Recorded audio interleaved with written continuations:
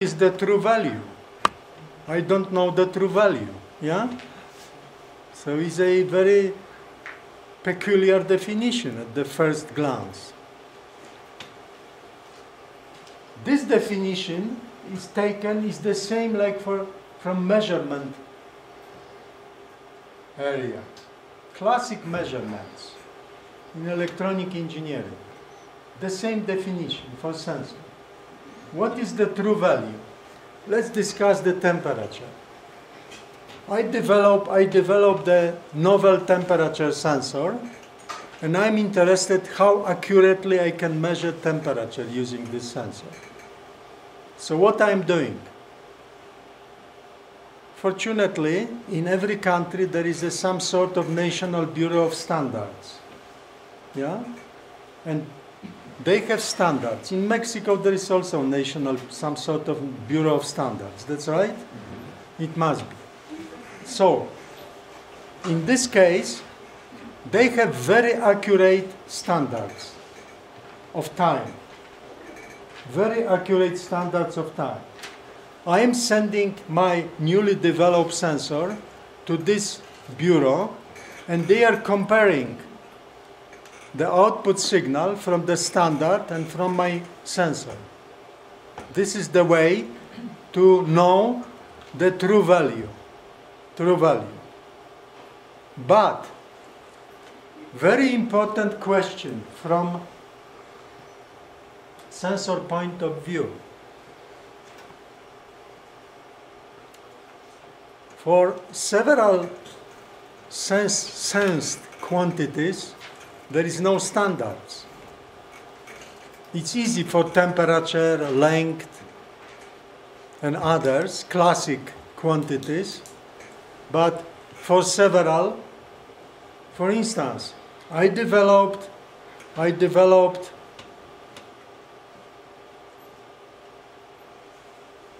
new type of gas sensor. There is no standard of gas with certain concentration. There is no such standard. So what can I do? What can I do to assess the quality of my newly developed sensor? What can I do? Everybody is thinking. I develop new sensor, I have to assess how good is this sensor, how accurate is this sensor. What can I do as an engineer?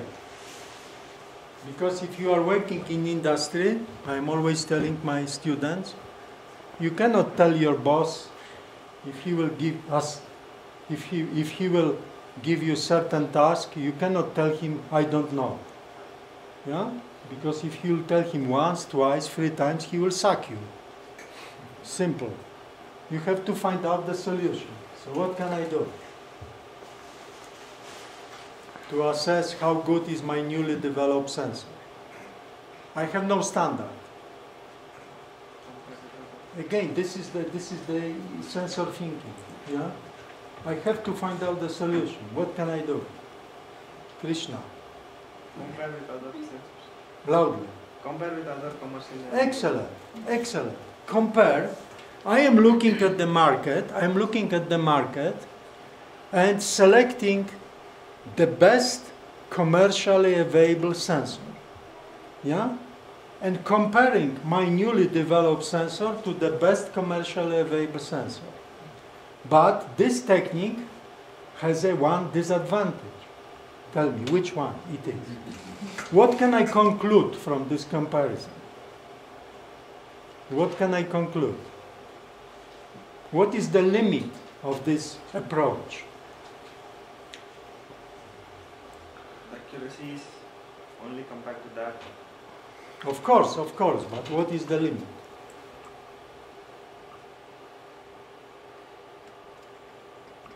Let's assume, let's assume theoretically that my newly developed sensor is better than the best commercially available sensor.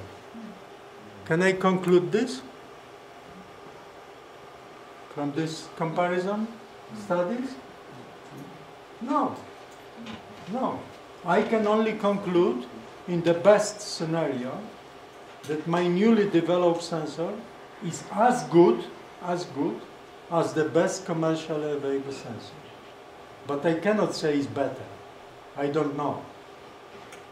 There will be only the guess without any proof. This is the disadvantage. So here you have standard, you have the standard, standard algebra for the accuracy. Uh, and uh, you can calculate this accuracy. And uh, this is what I, what, I, what I told you. There is a detailed description of the thinking regarding accuracy. Precision, precision. Most of the people believe that accuracy is the same as precision. It is not. It is not. In sensor technology, it is not. It's completely different parameter.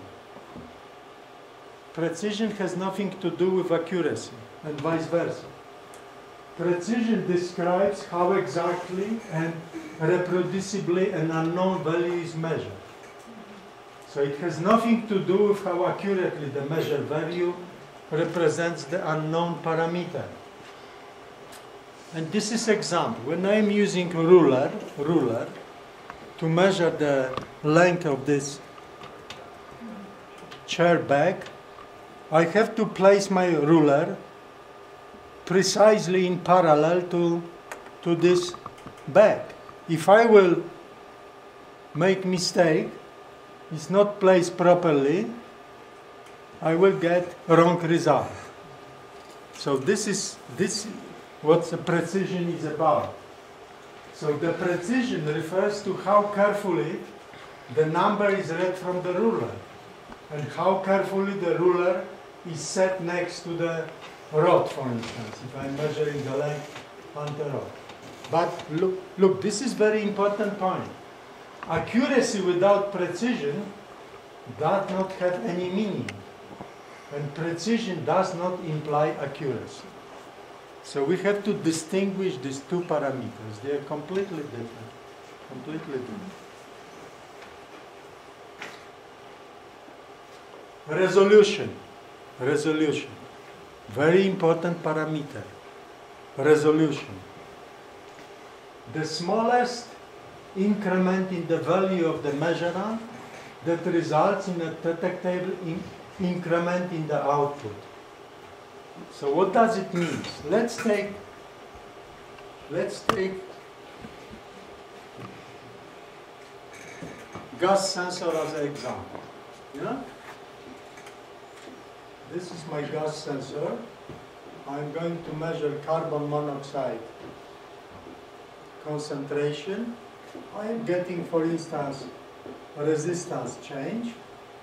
So calibration curve, transfer characteristic, will be resistance versus gas concentration. Let's assume that this is nice linear characteristic. Nice linear characteristic. Again, the smallest increment in the value of the measurement that results in a detectable increment in the output. So, let's assume that my sensor operates in the range, in the range, for instance, 10 ppm or 1 ppm to 1000 ppm.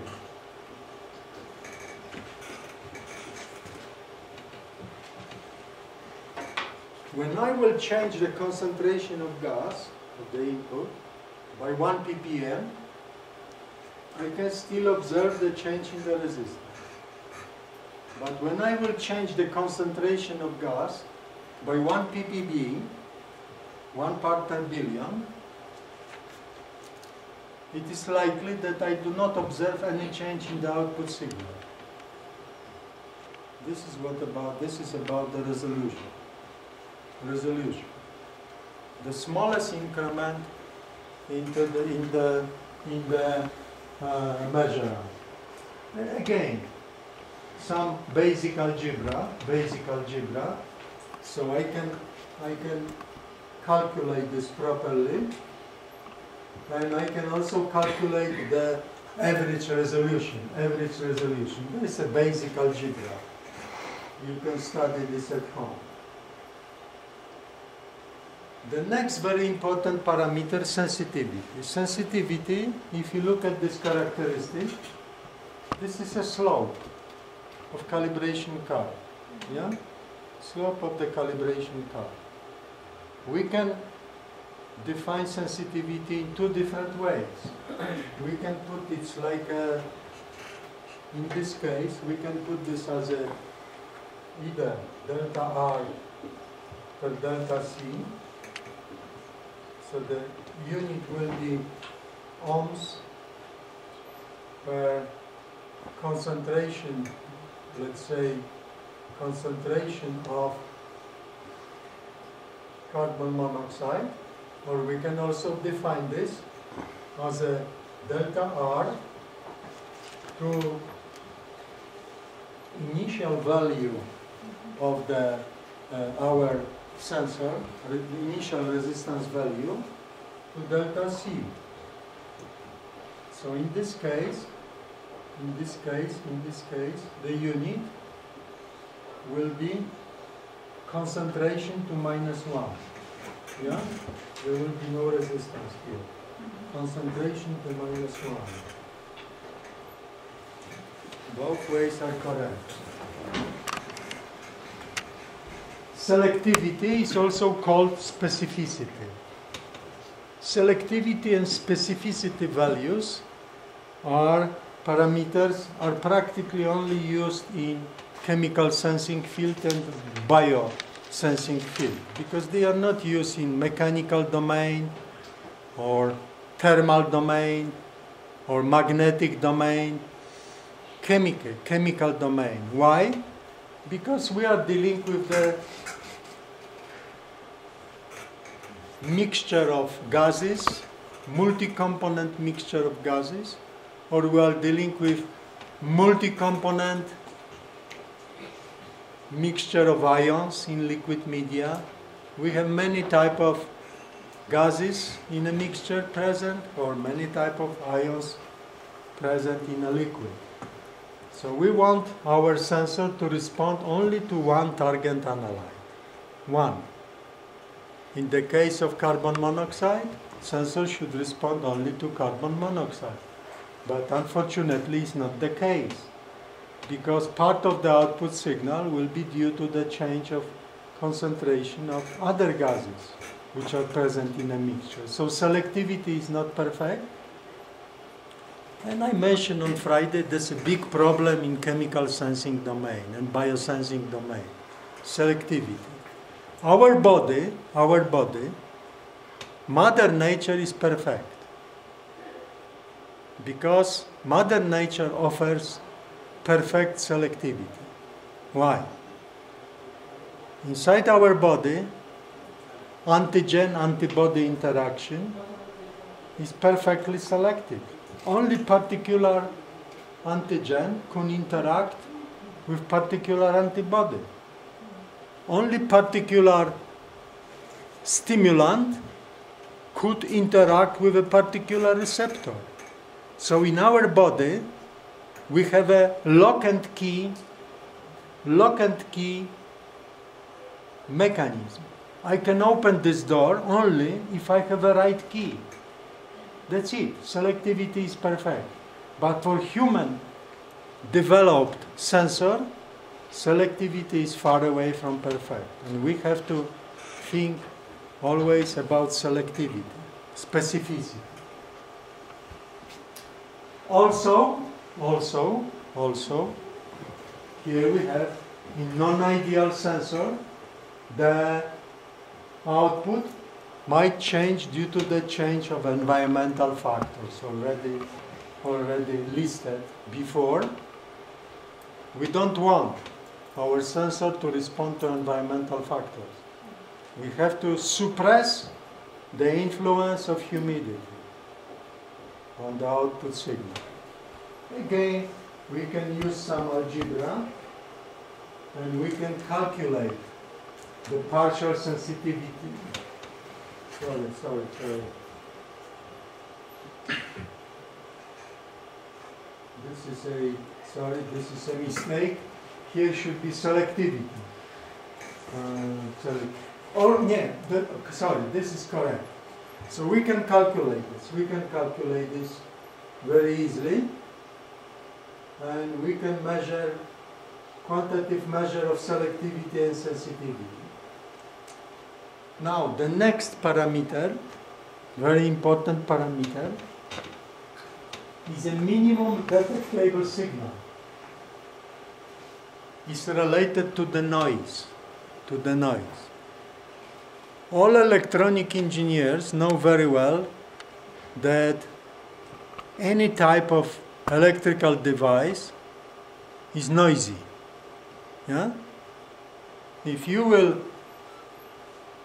if you will attach, if you will connect your resistor, capacitor, inductor, or sensor, or sensor to the scope, what you can observe on the screen, it will be flat line. Krishna, flat line.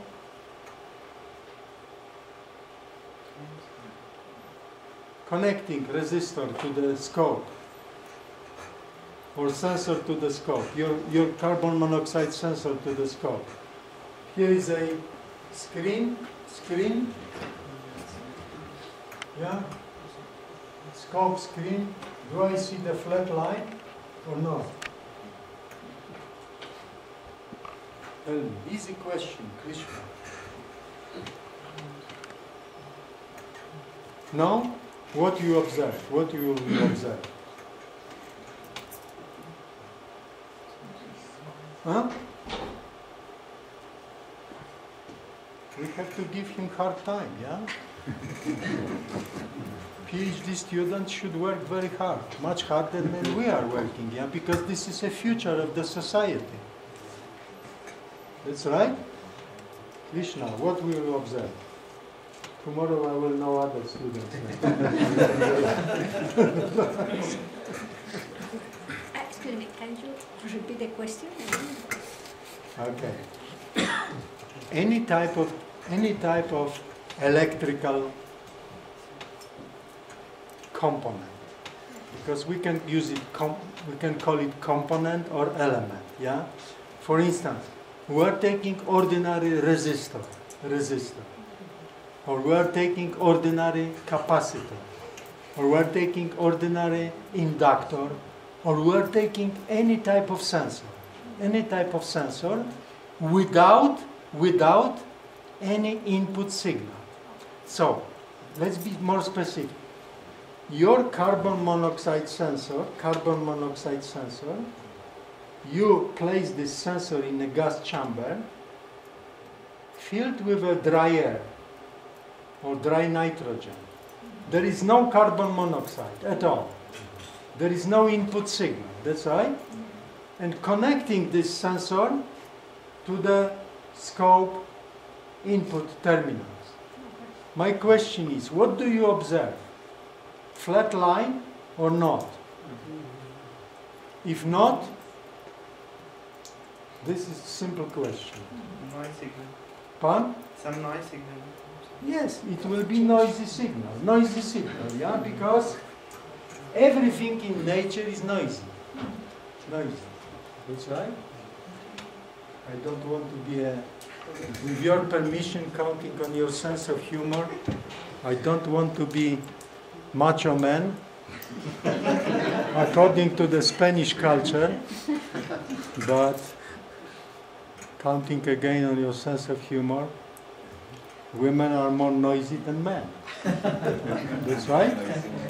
Which is good. Which is good because they are living longer they are exchanging air in lungs, which is good, which I like. So we observe, we observe noisy signal. Yeah, we observe this sort of grass. I call it in the colloquial language, grass. Grass. This is a noise. Noise. Do you have some basic knowledge regarding noise? There are many types of noise, yeah? Many types of noise. Gaussian. Pardon? Gaussian. Gaussian. Correct, correct. We have, some of them are Gaussian, some of them are not, because thermal noise, thermal noise, when the charge carriers are striking each other, moving in a Brownian Yeah. mode, Brownian movements, it is causing noise. Noise. We have 1 over F noise, we have Schottky noise, we have other Johnson noise, different spectra depending on the frequency. That's right? Depending on the frequency. And this noise, this noise in our sensor, every sensor has a certain noise level. This noise is causing certain problems. But again, again, sensor thinking, sensor thinking.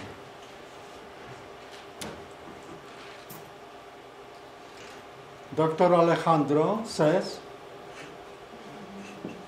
maybe we can make a profit on noise.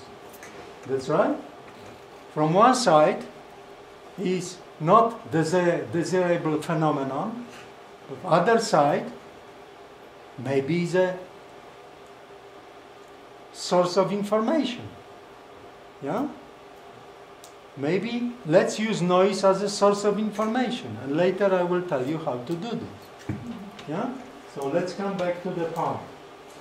Minimum detectable signal. Minimum detectable signal. Assuming that the signal of the measurement does not contain any noise, the minimum signal level that yields a readable transducer output is determined by the noise performance of the transducer. So this definition, this definition is a very tricky one because you have to you have to understand the history of noise. The history of noise. Usually, traditionally, when the electronic engineer is dealing with noise, what he is doing? His way of thinking is I should have the high signal to noise ratio, yeah? An electronic engineer is looking around for the capacitor to suppress the noise ratio, the noise level. Because for him, noise is a disaster. That's right? To in- increase the signal to noise ratio.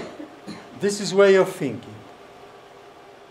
But at the same time, as I said, we can use noise. We can use noise in a profitable way. Profitable way. So, uh, in this case, in this case, we can all internal sources of the noise for the transducer can be bunched together to form a single noise source. And this is called equivalent input noise source. When it is connected to the noiseless, noiseless sensor, noiseless sensor, it, it yields the output noise level of the transducer and the start.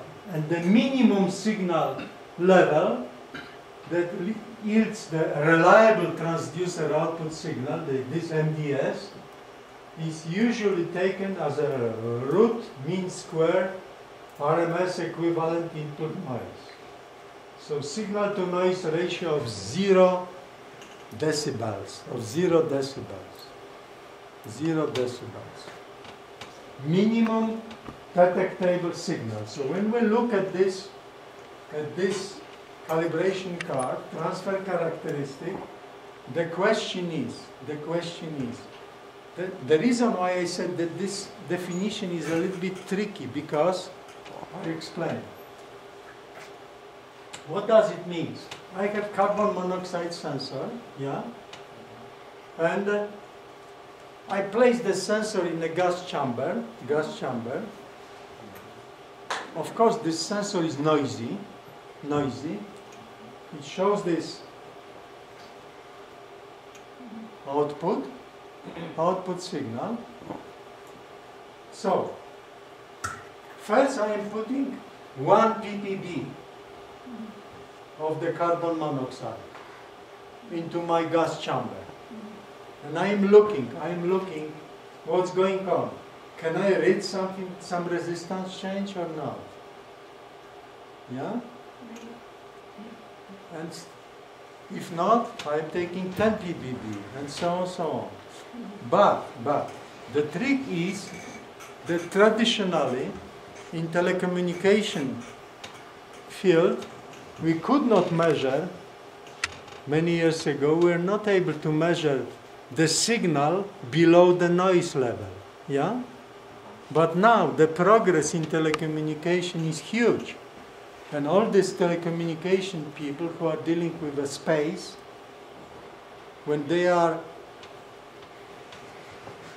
examining signals coming from the cosmos, from other planets, from you know different phenomena occurring in the cosmos, they are dealing with very weak signals, very weak signals, and many times these signals are lower than the noise level. So they develop they develop techniques which are able to measure signal below the noise level. These techniques are usually sophisticated and rather expensive, but it's possible to do this. It's possible. So if necessary, if necessary, we can adopt these techniques to sensor technology, if necessary. If necessary. Yeah?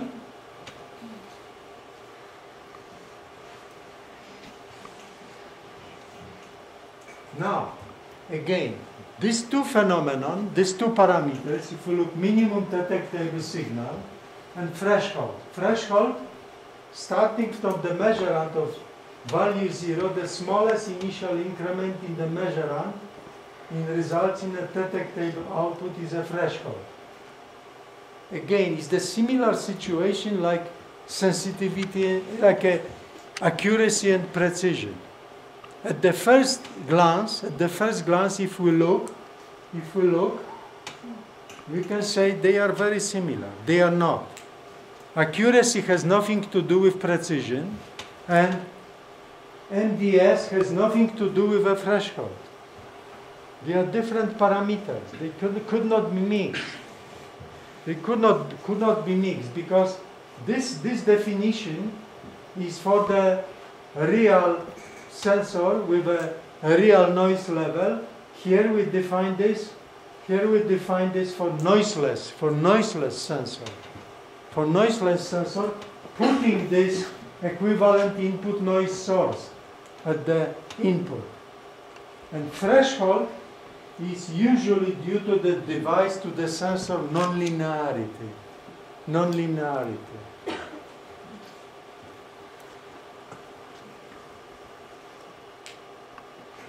Nonlinearity. Let's discuss the nonlinearity. My question is if we are developing or dealing with uh, any type of sensor, is the transfer characteristic is nicely linear, good news or bad news? Krishna, my favorite.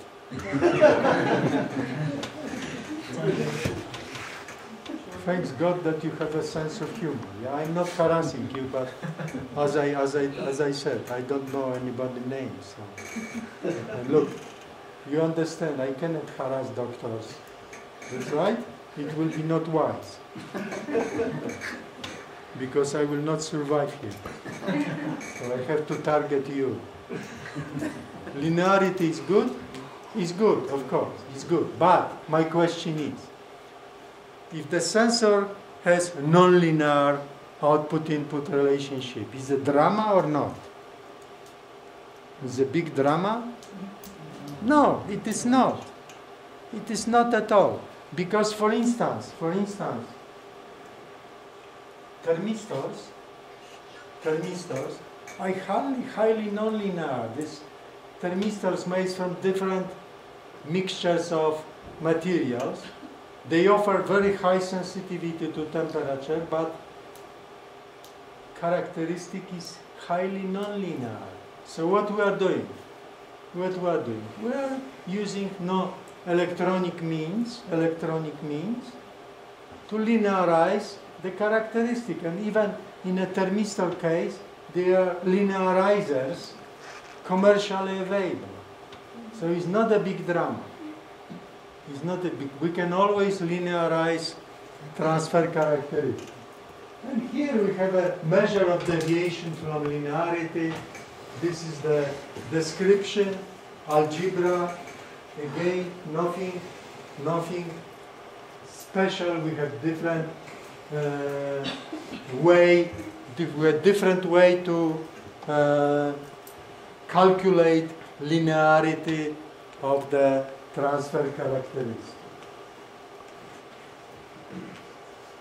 Distortion. As you can see, many sensor parameters, many sensor parameters, all of them should be analyzed. Distortion. Deviation from the expected output. In some cases, distortion is a measure of deviation from linearity. However, it's not needed to be related to nonlinearity, to at all. And there is an example, sinusoidal oscillator. Sinusoidal, sinusoidal oscillator is also a sensor. Electrical input, electrical output. We are generating sinusoidal wave.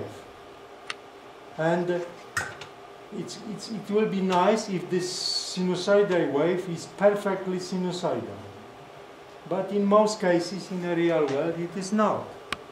So, in this case, because oscillator is nonlinear, we can, this is the measure, distortion is a measure of deviation of the output of perfectly, of perfect sinusoidal, sinusoidal wave. So this is very subtle, very subtle, uh, very subtle uh, parameter. In the case of gas sensors, is not important. Yeah, is not important. No need to calculate distortion. Conformity on conformance. Closeness of an experimental curve to a theoretical curve.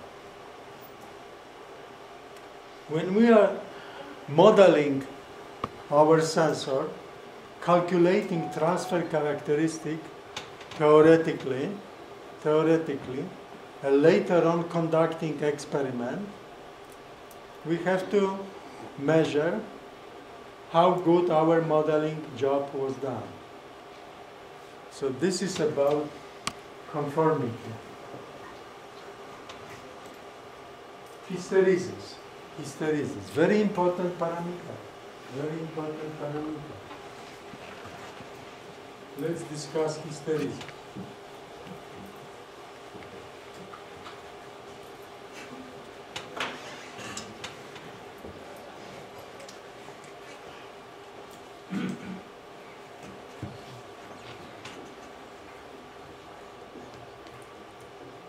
Again, the same characteristic for carbon monoxide sensor. Resistance versus carbon monoxide concentration. So, I'm calibrating my sensor for different for different carbon monoxide concentrations. I'm getting some calibration points, yeah, in a certain range, increasing carbon monoxide concentration. And now I'm doing the same job going decreasing carbon monoxide concentration, going back. Of course, in an ideal case, I should get the same point. But it could not be the case because I can get I can get different values. Different values here. Let's put it in red. Different values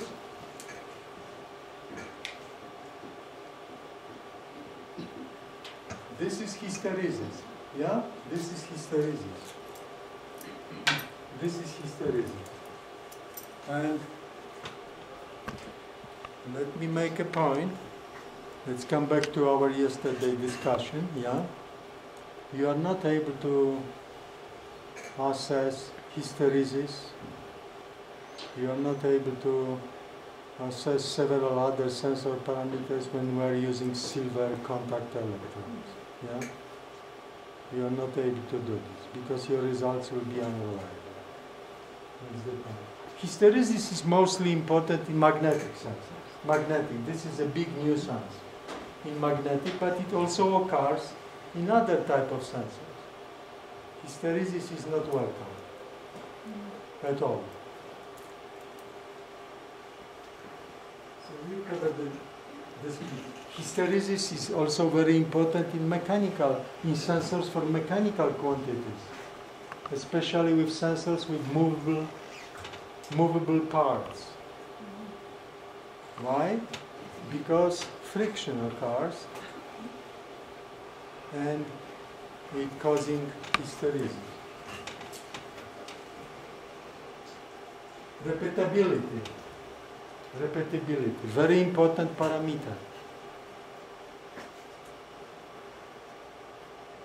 The difference in the output readings at the given value of measure.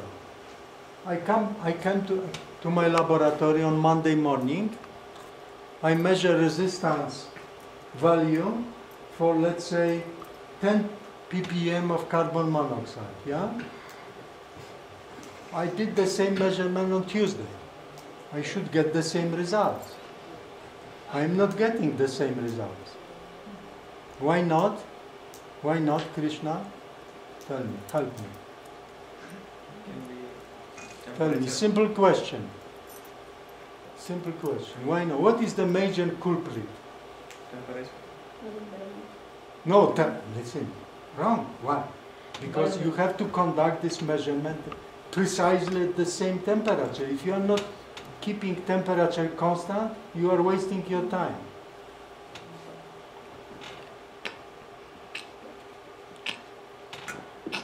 Pardon. Yeah? All the same conditions. Experiment at the same conditions, the same temperature, the same humidity, the same electromagnetic interference and so on. The same, but the result is different. Why not? Why not? Simple question. Why not? Everybody thinks. What is the major culprit?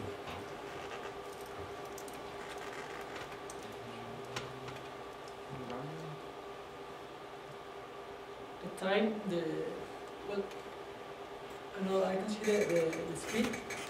The, Say it again loudly, please. Sorry. Loudly, loudly. Louder. Loudly. Okay. Uh, I think that the the speed that the component or element get in the, the same state is slow in order to get the, the state. The time of interaction.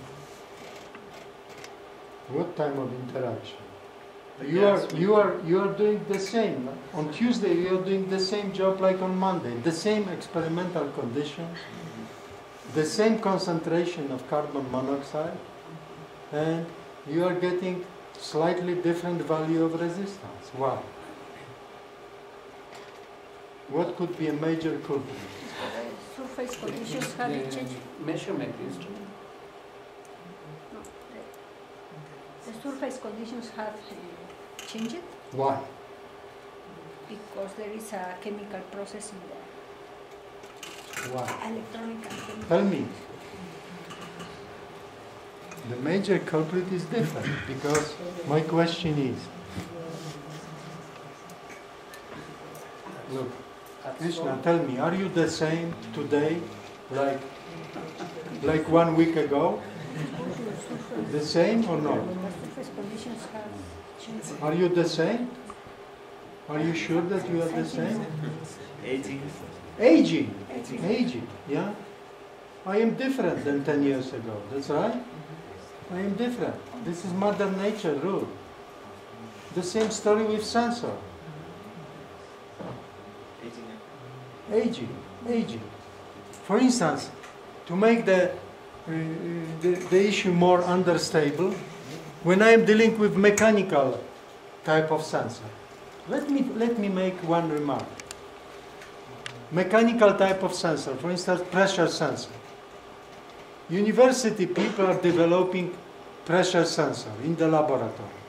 It works perfectly well. Yeah, they are very happy publishing paper and they believe the job is done. That's only beginning of the long way. Why? Why? Because the major problem is packaging. Packaging. If you are going to commercialize this sensor, packaging.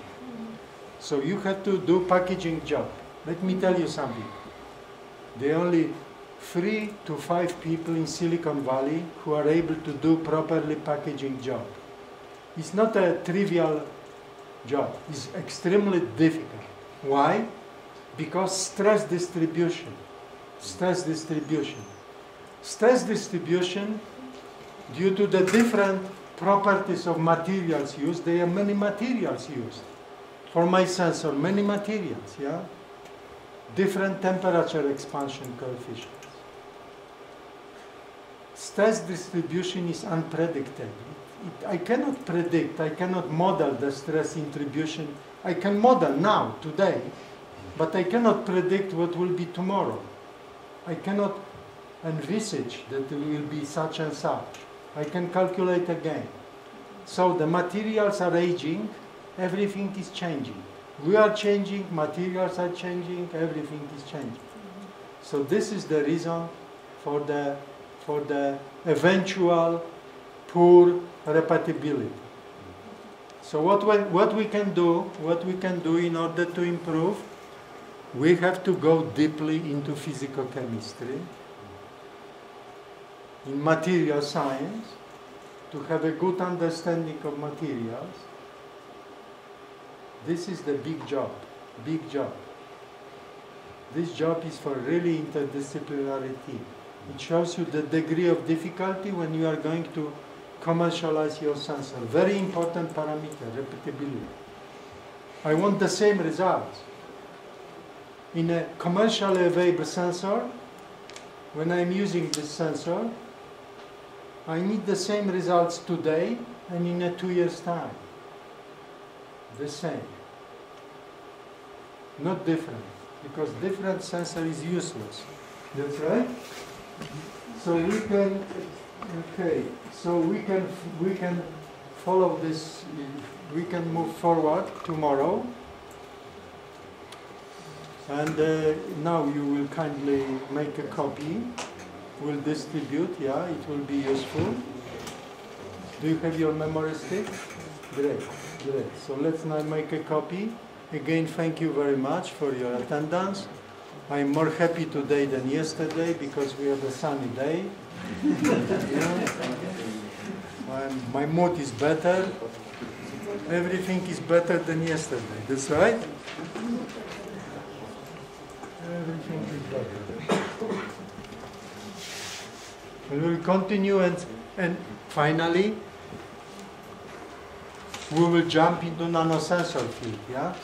After this introduction, introductory lectures, because I decided to address several people present in the audience who have a very little knowledge and experience in sensor field. So they can have a flavor of this field and finally, they will have a flavor of nanosensors. Yeah, because it's a huge, huge subject. Huge subject. Okay? See you tomorrow. Thank you. Sí.